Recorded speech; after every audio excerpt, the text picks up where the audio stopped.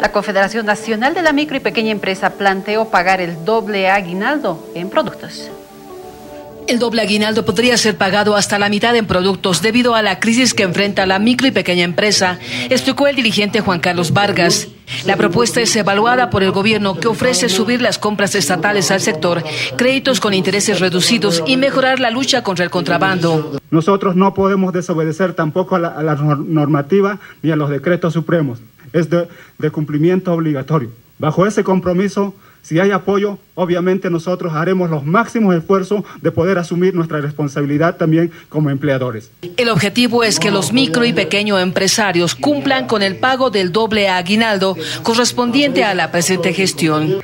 Bueno, lo que acá estamos informando son avances en diálogo con un sector tan importante como es el de los microempresarios.